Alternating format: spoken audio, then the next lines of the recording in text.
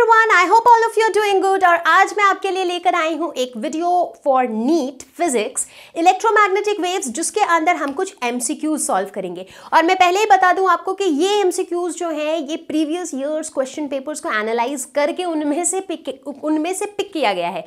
यानी कि ये क्वेश्चंस आपके लिए अप्रोप्रिएट है, अच्छी प्रैक्टिस हो जाएगी एक्सप्लेनेशन के दौरान आपकी अच्छी रिविजन भी हो जाएगी। So what are we waiting for? Let's get started. तो पहला question out of the following options which can be use to produce a propagating electromagnetic wave तो इस क्वेश्चन के ऑप्शंस देखने से पहले, सबसे पहले हम ये सोचते हैं कि भाई, एक इलेक्ट्रोमैग्नेटिक वेव के लिए हमें क्या चाहिए हमें एक इलेक्ट्रिक फ़ील्ड चाहिए हमें एक मैग्नेटिक फ़ील्ड चाहिए और ये इलेक्ट्रिक फ़ील्ड और मैग्नेटिक फ़ील्ड जो है, ये चेंजिंग इलेक्ट्रिक और मैग्नेटिक फ़ील्ड होने चाहिए सच दैट दोनों आपस में परपेंडिकुलर हो। ठीक है? अब हम ऑप्शंस देखते हैं। पहला ऑप्शन स्टेशनरी चार्ज तो अगर एक चार्ज स्टेशनरी है, अगर एक ही जगह पे है चार्ज तो उसकी वजह से इलेक्ट्रिक फ़ील्ड तो होगा बट मैग्नेटिक फ़ील्ड नहीं होगा राइट तो इसीलिए ये जो है करेक्ट ऑप्शन नहीं है। दूसरा ऑप्शन है चार्ज लेस पार्टिकल तो अब अगर किसी पार्टिकल में चार्ज ही नहीं है तो उसमें इलेक्ट्रिक फ़ील्ड भी नहीं होगा मैग्नेटिक फ़ील्ड भी नहीं होगा. तो ये भी करेक्ट ऑप्शन नहीं है. तीसरा ऑप्शन है एन एक्सेलरेटिंग चार्ज मतलब एक चार्ज है जो मूव कर रहा है और मूव भी ऐसे कर रहा है कि वो एक्सेलरेट कर रहा है, यानी कि उसकी जो वेलोसिटी है वो टाइम के साथ साथ चेंज हो रही है। तो इस केस में जो है, हमारे पास एक इलेक्ट्रिक फ़ील्ड होगा, हमारे पास एक मैग्नेटिक फ़ील्ड भी होगा और इलेक्ट्रिक और मैग्नेटिक फ़ील्ड जो है वो टाइम के साथ साथ चेंज हो रहा होगा। तो ये हमारा सही ऑप्शन है। ऑप्शन डी क्या है? A charge moving at constant velocity तो अगर कोई चार्ज कांस्टेंट वेलोसिटी से मूव कर रहा होगा, इसका मतलब है एक्सेलरेशन जो होता है change in velocity with time ये हो जाएगा ज़ीरो तो अगर एक्सेलरेशन यहाँ पे ज़ीरो है तो इस केस में इलेक्ट्रिक फ़ील्ड और मैग्नेटिक फ़ील्ड जो है, वो टाइम के साथ साथ चेंज नहीं होगा. तो इसीलिए फोर्थ ऑप्शन भी इनकरेक्ट है. तो सही ऑप्शन है सी Question number 2. The electric field vibration of an electromagnetic wave is given by E is equal to 50 Newton per coulomb sin omega t minus x by c. तो एक electromagnetic wave का जो electric field वाला part है वो हम ऐसे denote करते हैं अच्छा इन जनरल हम इलेक्ट्रिक फ़ील्ड को कैसे एक्सप्रेस करते हैं हम लिखते हैं E is equal to E naught sine omega t minus k x तो इन जनरल हम इसको इस तरह, तरीके से डिनोट कर करते हैं इलेक्ट्रिक फ़ील्ड को। तो यहाँ पे इस क्वेश्चन में हमको इंटेंसिटी निकालना है। तो हमने थोड़ी देर पहले प्रॉपर्टीज़ में पढ़ा था कि इंटेंसिटी हम कैसे निकालते हैं। Half epsilon naught E naught square c ऐसे हम इंटेंसिटी निकालते हैं। तो देखते हैं हमारे पास ये सारी वैल्यूज़ है कि नहीं। एप्साइलन नॉट क्या होता है? परमिटिविटी इन फ्री स्पेस जिसकी वैल्यू कांस्टेंट है 8.85 point eight five into ten to the power minus twelve coulomb square per newton metre square E naught की वैल्यू क्या है? तो अगर हम जनरल एक्सप्रेशन के साथ इस एक्सप्रेशन को कंपेयर करें तो हम देखेंगे कि 50 जो है, ये e नॉट की वैल्यू है। तो e नॉट है 50 न्यूटन पर कूलम ठीक है? और तीसरी वैल्यू क्या चाहिए? हमको सी की वैल्यू जो कि कांस्टेंट है three into ten to the power eight metre per second तो अब हमारे लिए इंटेंसिटी निकालना काफ़ी आसान है। Half into eight point eight five into ten to the power minus twelve into fifty into fifty into three into ten to the power eight तो two into twenty five हो जाएगा फिफ्टी तो इसको पूरे को कैलकुलेट करेंगे तो ये आ जाएगा three three one eight seven point five into ten to the power minus four यानी कि three point three weber per metre square तो करेक्ट ऑप्शन हो जाएगा C question number three in case of linearly polarised light the magnitude of the electric field vector अच्छा सबसे पहले हम ये समझते हैं कि लीनियरली पोलराइज्ड लाइट क्या होती है। तो लीनियरली पोलराइज्ड लाइट हमेशा इलेक्ट्रोमैग्नेटिक वेव के फॉर्म में होती है। और अगर हम इलेक्ट्रोमैग्नेटिक वेव की बात करें तो उसमें जो इलेक्ट्रिक फ़ील्ड वेक्टर होता है, क्या वो कॉन्स्टेंट होता है? नहीं, क्योंकि इलेक्ट्रिक फ़ील्ड और मैग्नेटिक फ़ील्ड जो है, ये कंटिन्यूसली चेंज होता है टाइम के साथ साथ करेक्ट और ये दोनों आपस में परपेंडिकुलर होते हैं, कुछ इस तरीके से। तो अगर ये हमारा इलेक्ट्रिक फ़ील्ड है तो ये हमारा मैग्नेटिक फ़ील्ड है राइट तो अगर हम देखें तो इलेक्ट्रिक फ़ील्ड कैसे चेंज हो रही है? पीरियोडिकली चेंज हो रही है टाइम के साथ साथ तो करेक्ट ऑप्शन हो जाएगा option B question number four the energy of gamma ray photon is E gamma and that of an X ray photon is E X if the visible light photon has an energy of ev then we can say that. तो basically इस question में हमको gamma ray x ray और visible light in तीनों के energy को compare करना है। अब हमें यह पता है कि एनर्जी क्या होती है। एनर्जी होती है एच न्यू ई होती है is equal to h nu या फिर एच सी बाई लैमडा तो अगर हम इलेक्ट्रोमैग्नेटिक स्पेक्ट्रम को देखें तो हम क्या देखते हैं कि यहाँ पे ये तीनों कहाँ पे है? ये रहा गामा रे ये रहा एक्स रे और ये रहा विजिबल रेज तो हमने ये देखा है कि इस लिस्ट में जैसे हम नीचे से ऊपर जाते रहते हैं वेवलेंथ बढ़ती जाती है. यानी कि जो लैम्डा है, वो गामा रे का सबसे कम है. उसके बाद लैम्डा जो है एक्सरे का है, उससे भी ज़्यादा किसका है? विजिबल रे का है. तो लैम्डा विजिबल तो विजिबल रे का जो वेवलेंथ है, ये सबसे ज़्यादा है और गामा रे का वेवलेंथ सबसे कम है.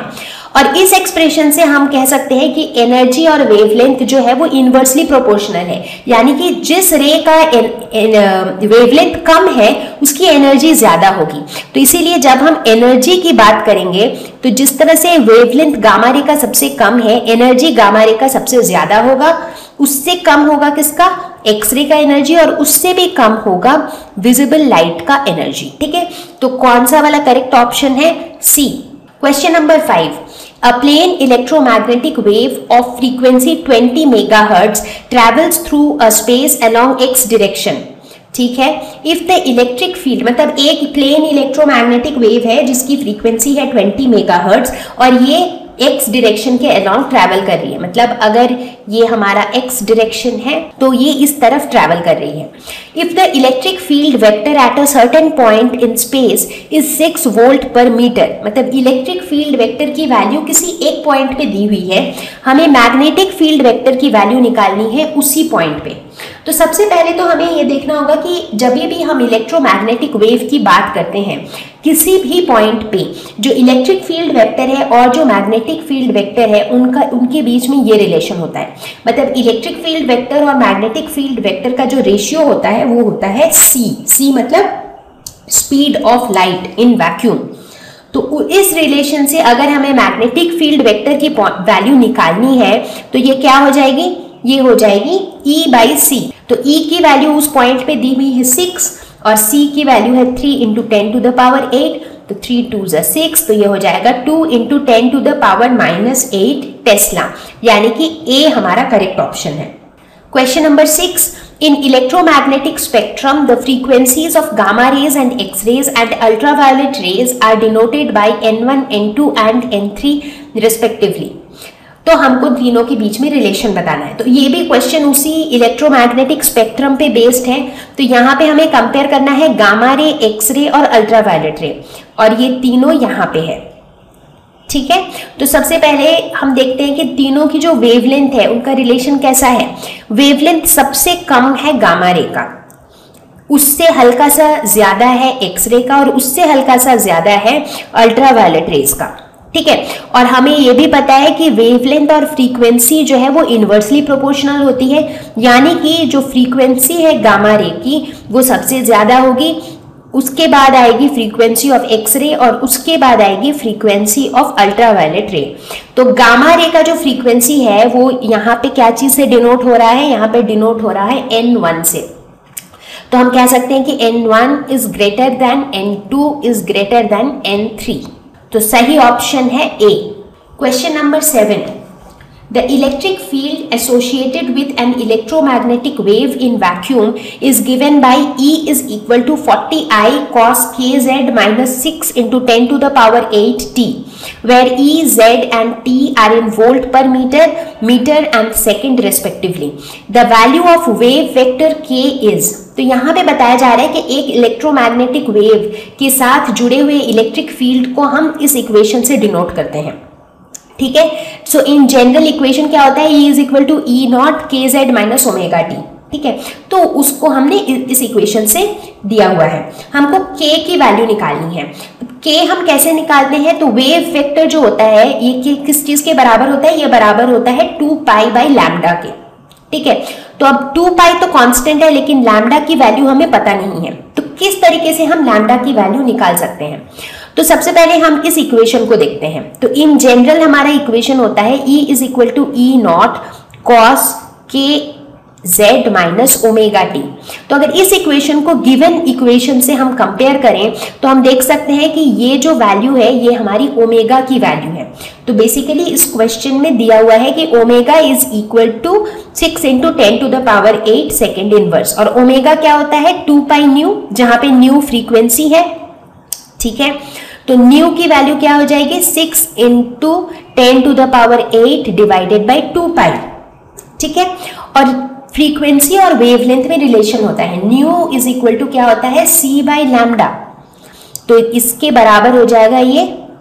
तो यहाँ से हम कह सकते हैं कि वन बाई लैमडा क्या हो जाएगा? Six into ten to the power eight divided by two pi c तो हमने वन बाई लैमडा की एक वैल्यू निकाल ली। अब हम क्या करेंगे? इस वैल्यू को यहाँ पे डाल देंगे। तो यहाँ पे ये हो जाएगा two pi into one by lambda तो वन बाई लैमडा की जगह हम लिखेंगे six into ten to the power eight divided by two pi c तो two pi two pi cancel हो जाएगा। तो अब हम सी की वैल्यू डाल सकते हैं three into ten to the power eight तो ten to the power eight और ten to the power eight cancel हो जाएगा three into two is equal to six तो के की वैल्यू हो जाएगी टू मीटर इनवर्स सही ऑप्शन ए है। तो बच्चा पार्टी, कैसा लगा ये वीडियो तो मुझे उम्मीद है कि इस तरह के छोटे छोटे वीडियोस जिसके अंदर हम एम प्रैक्टिस करते हैं, जिसके अंदर हम प्रैक्टिस लेसन के कुछ कुछ इंपॉर्टेंट टॉपिक्स की समरी देखते हैं, ये आपको नीट की तैयारी में काफ़ी हेल्प करेगा। इनफैक्ट आपको रिवाइज करने में काफ़ी हेल्प कर रहा होगा। तो आप हमें ज़रूर बताइएगा कि वीडियो कैसा लगा, किसी भी तरह का फीडबैक हो सजेशन हो, उसे आप कॉमेंट सेक्शन में डाल दीजिएगा, हमें बहुत अच्छा लगेगा। ठीक है? तो आप घर पर रहिए सेफ़ रहिए ध्यान रखिए अपना और अच्छे तरह से मन लगा के तैयारी करते रहिए। So I will see you all very soon with the next video take care bye bye